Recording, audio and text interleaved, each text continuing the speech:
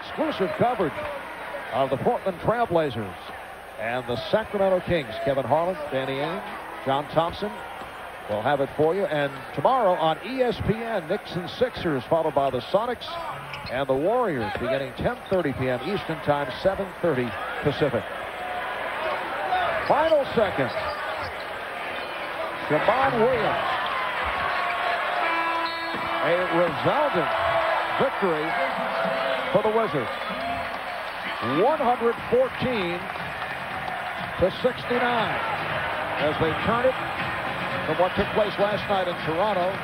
Celtics lost their home opener last night to the Bulls. And Michael Jordan able to turn things around after the uh, 4 for 14 last night, including that missed open court dunk attempt, but a different story tonight. And Michael is alongside.